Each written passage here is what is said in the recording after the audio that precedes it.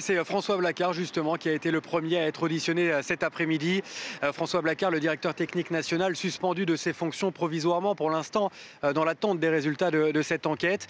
Il n'est pas le seul à, être entendu cet après-midi puisque Jean-Claude Gentini, l'entraîneur de l'équipe de France des moins de 17 ans, a également été entendu, comme Gérard Prêcheur, le directeur de l'INF Clairefontaine, le centre de formation certainement le plus réputé de la formation française. Voilà pour ce qui s'est passé déjà en ce début d'après-midi. Pour l'instant, il y a une pause dans les euh, auditions. Rien n'a filtré euh, puisque la communication pour l'instant est verrouillée. On sent vraiment qu'il y a eu des consignes pour qu'il n'y ait absolument aucune communication euh, dans le cours de cette enquête.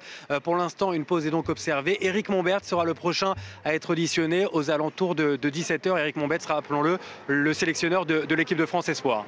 Et on s'interroge évidemment, Samuel, sur l'avenir de Laurent Blanc. Hein. Oui, alors Laurent Blanc, pour l'instant, euh, le sélectionneur de l'équipe de France, il est en Italie euh, pour euh, un peu de repos, une semaine de repos. C'était absolument prévu, hein. ce n'est pas quelque chose qu'il a fait voilà, au dernier moment.